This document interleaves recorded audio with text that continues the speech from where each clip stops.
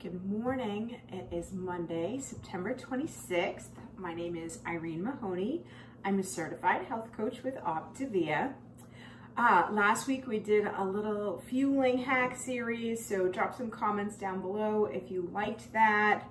Um, I was thinking we might mix it up and do some more things with a little bit more variety.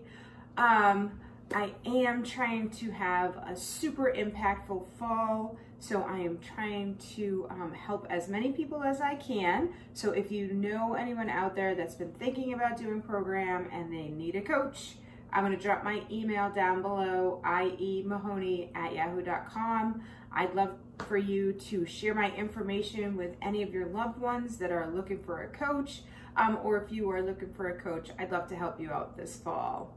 Um, also, if this is your first video that you're catching, go ahead and subscribe uh, to my channel so you can kind of follow along as we, uh, we go through the five and one.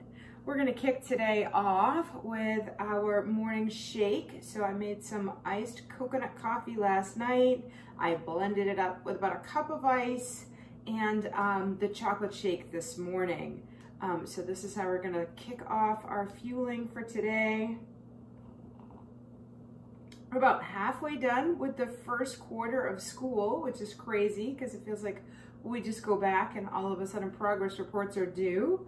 So we're gonna go make sure we're all set for this week. And I think the end of this week, we gotta send progress reports home.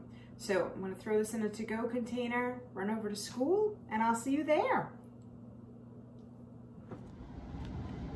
My A-Day class starts with a 30 person honors class and I always just feel like it's a whirlwind of Crazyville. But once I figure out what they're doing, then the next two days are easy. but it's always just a little chaos that first time you do it.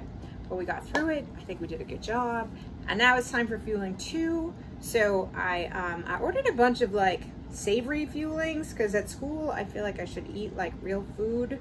So I got oatmeal here for fueling two. I will tell you a lot of the savory fuelings, I like them to soak in the water much longer than the packet says. So uh, I'm planning on having the pasta penne for lunch today. So I added the water to that now. I added the water to the oatmeal when I got to school this morning. Um, they just make them a little bit better if you let them sit. So I'm gonna enjoy my oatmeal and I'll see you back here for lunch time for lunch. So I made the rustic tomato pasta and I've been letting it cook for most of the day. I might have added a little too much water, a little out of practice here.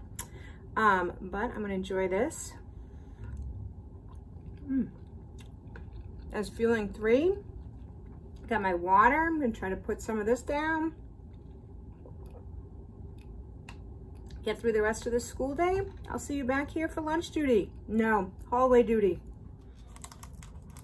Whew, today was a little bit crazy. We had to do some catching up with the material. We had a lot of work to do. We got new students today. We lost some students today to other classes.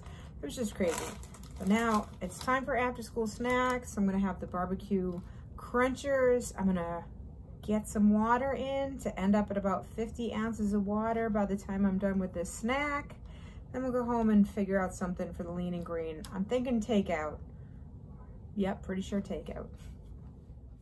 As promised, I had zero motivation to make dinner tonight, so I just went next door and I grabbed a garden salad with a scoop of the crab meat salad on it. Um, so this is tonight's easy lean and green. I'm gonna enjoy this and kind of like take a couple minutes to decompress. I'll see you back here for dessert. To continue my theme tonight of being incredibly lazy when it comes to feeding myself, I'm just gonna enjoy this chocolate drizzle bar as my dessert tonight. This will be my last fueling.